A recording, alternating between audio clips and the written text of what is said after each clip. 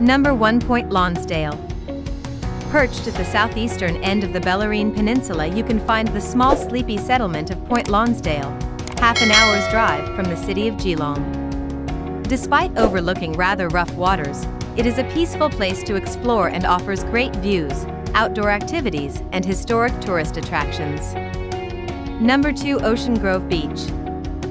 UST a short drive west of Point Lonsdale is another outstanding place to head if you are after some sand, sea, and surf, idyllic Ocean Grove Beach. Popular with both locals and tourists alike, it looks out onto Bass Strait with lifeguard stations and safe swimming spots dotted up and down the coast. Number 3 Geelong Gallery.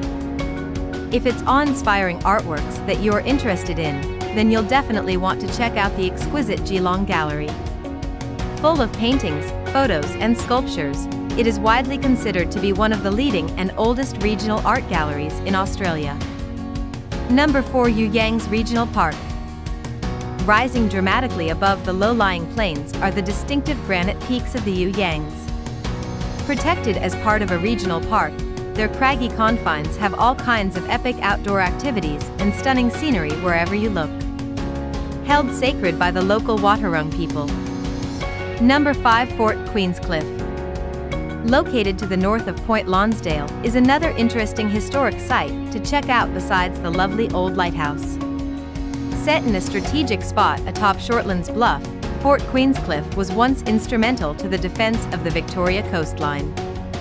Number 6 National Wool Museum The National Wool Museum is not to be missed if you want to learn all about Geelong's past as the wool center of the world. Well-presented artifacts and exhibits highlight the profound impact the wool industry had on not only Geelong's economy and society, but even its architecture too.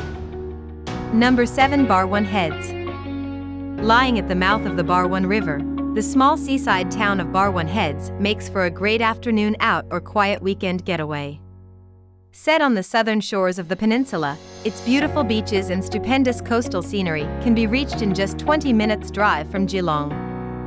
Number 8 Geelong Botanical Gardens The gorgeous Geelong Botanical Gardens can be found within Eastern Park along the city's waterfront. Home to myriad plants, flowers, trees and shrubs, it is the perfect place to relax and unwind after a busy day of sightseeing. One of the oldest botanic gardens in Australia. Number 9 Bellarine Railway a wonderful way to see as much of Geelong and the Bellarine Peninsula as possible is to take a ride around the peninsula on the Bellarine Railway. The oldest Victorian branch line still in operation, its heritage trains take you from Queenscliff to Drysdale with sightseeing trips running most weekends of the month. Number 10 Geelong Waterfront Curving its way gently along Corio Bay is the lively Geelong Waterfront, which is undoubtedly the most popular place in town. Packed with things to see and do, it boasts umpteen attractions, activities and amenities with something for everyone to enjoy.